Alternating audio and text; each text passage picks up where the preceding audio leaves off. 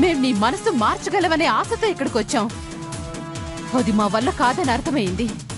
నిన్ను నాలుగు పీకి ఆ తృప్తితో ఇంటికి వెళ్తాం.